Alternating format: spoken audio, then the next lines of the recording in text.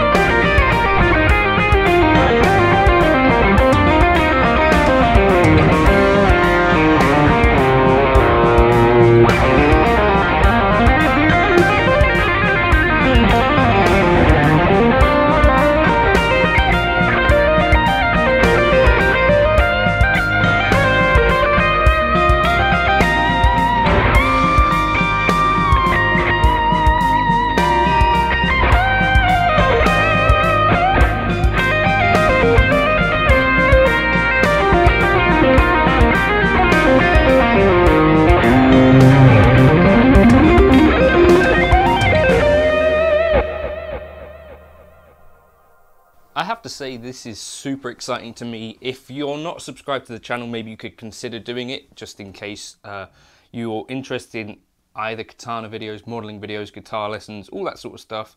Uh, it's all on this channel if you want it. Not obligatory, but uh, you know, an option. Uh, if you wanted to like and subscribe, leave a comment, all that sort of stuff, it does just help these videos have a bit of a longer life. Anyway, right, I'm very excited by this discovery today. So I was looking up some stuff on Reddit about the Boss Katana the other day and found a, a resource which kind of mentioned this thing called Sneaky Amps. And um, if you've not looked this up, maybe you could consider doing it. But essentially, some of the other videos that I've done for Boss, by the way, have been sponsored. This one's not, and I don't know if they want people to know about this sort of stuff or not, but I think it could really unlock some real potential in your katana, um, particularly if you're into, I don't know, maybe some different styles of music. So maybe you're into more variety of clean edge of breakup tones, or maybe you're into even more heavy music than what the Boss Katana kind of implies. So essentially what this sneaky amps thing is, is that somewhere in the, the brain of the katana essentially is something like a Boss GT1 and there are actually 29 amps in there that are potentially available. And the way that I accessed these was via a Gumtown and there's this um, Boss Katana effects floorboard thing Uh, so some clever bloke has put together an editor where you can access all of this stuff. And it's also an editor that I think is a little bit more intuitive than the Boss Tone Studio stuff. Um, so it's kind of a bonus in that way. It's got these kind of, uh, essentially it sort of represents the actual effects there. So all I've done is just plug a laptop into the Boss Katana and you can access these things. So what I was using in the introduction there, for the clean tone, I was using a Fender Twin emulation, which is somewhere in the brains of the Boss Katana. And then for the lead tone, the first one, I was using uh, a Marshall Plexi Jumped, which is also in the brains there of the uh, Katana, and something, you know, a little bit closer to an Eric Johnson tone than maybe is hidden in uh, the, the front panel of the Katana. Um, what it also gives you access to is kind of uh, some EQs and stuff that are actually available in Tone Studio as well. But I thought this was really exciting for me because it enabled me to dial in some things that I've been kind of hoping to, but maybe hadn't quite got there with. And it also helped me then to get some good stuff back out of the, the stock amps, if that makes sense. So for instance, I've got here, this is my kind of lead that I dialed in with the uh, Marshall.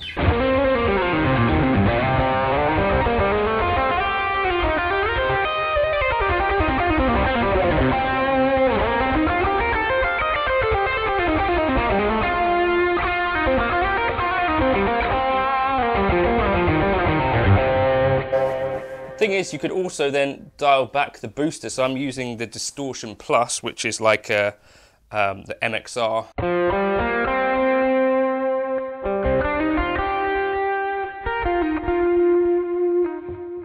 but it responds really nicely without that on as well.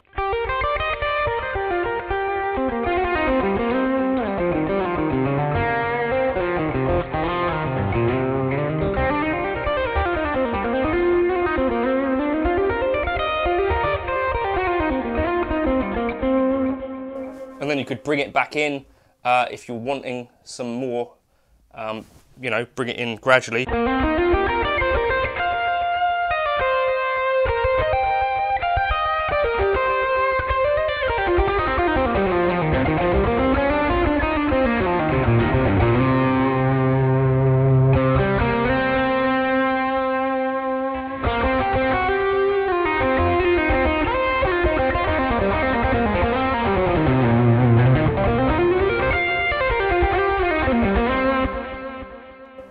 Then as a result of that, I actually thought, well, what does it sound like compared to the normal lead out?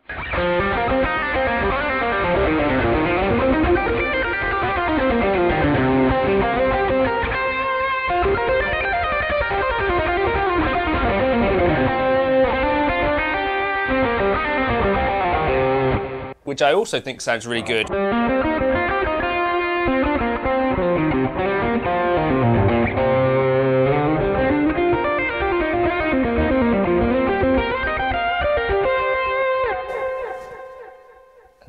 Bring in some of that booster again.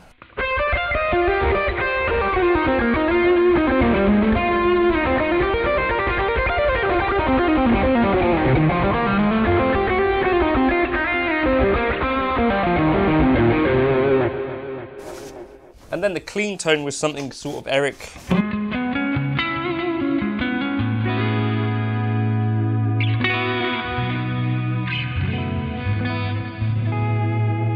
um, maybe a little bit too dark.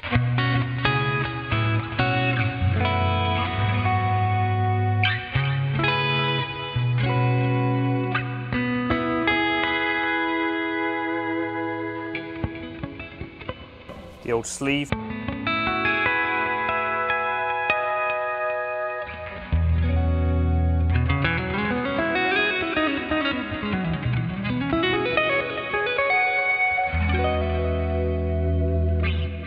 What's really exciting about this is that there's new possibilities that I wasn't aware of in the Katana that are really easy to get access to um, and quite easy to edit. I'm not necessarily having to just uh, use my imagination too much. I can think, well, what did these people use? And there's a choice now of 29 amps to get into, as well as there's actually a Mesa Boogie on there now as well, uh, the Boogie lead.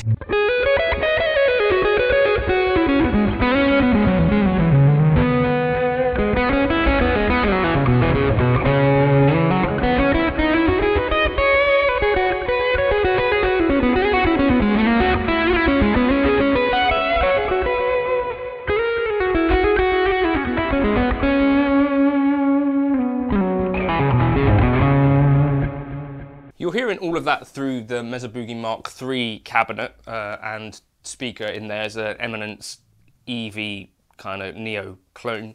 Um, but yeah, I think I'm really enjoying some of these tones, and for sure, those are things that I would use a ton. So I'd consider maybe if you've not checked this out, this sneaky amps thing, I think is worth a look because it could unlock some things in the katana that until now you've not really known was in there. Um, and I think is definitely a, a, a, new way to. It's not even new, is it? People have known about this for ages. New for me. Uh, you may have already known about this. Leave a, a comment below if you have. Um, but yeah, Gumtown, I think is called Katana Mark II FX floorboard. Um, I don't know. I'm really excited by that. Uh, sounds pretty cool in the room. Able to get the feedback thing going on, and uh, yeah, great fun. Um, let me know your thoughts on the old sneaky amps thing in the comments. Let me know as well, do you want me to upload these tones somewhere? I'm not sure if I can put them up as a tone set. I'm not sure. I'll maybe ask and see what boss think. I don't know. Catch you in another video soon. Cheers.